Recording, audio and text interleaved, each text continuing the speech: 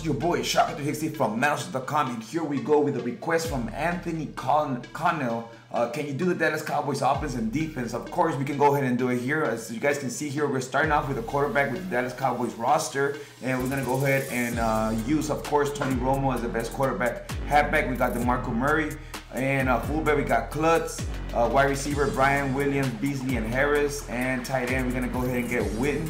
And then we're gonna go ahead and move on to the defense alignment. We're gonna go ahead and get uh, Bruce Carter right here. He has pretty nice block shed as well, nice speed off the edge. Uh, right in, we're gonna get Lawrence. He has a great, a great block shed as well, better than all the linemen here. But here we go with the DTs.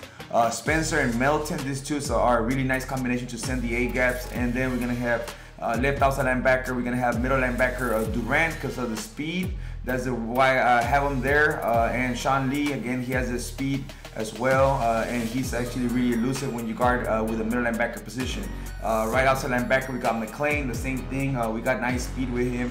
And we got Carr and Scandrick as the top two cornerbacks that we want to use. Now we put Brandon Carr right here because he's the tallest, and Scandrick at the second uh, cornerback. So you know people like to use the catch uh, on the left side. So make sure you guys put or adjust your cornerbacks to wherever they start throwing Peter Charlie's cornerback there. So uh, here we go: free safety Wilcox and strong safety Church. So those are the starting positions for the Cowboys offense and defense. If you guys want me to go ahead and break down more uh, rosters, depth charts, so you guys can go ahead and compete with your team on ranked matches, on uh, tournaments or whatever, I can go ahead and help you guys out. So let me know here in the comment section.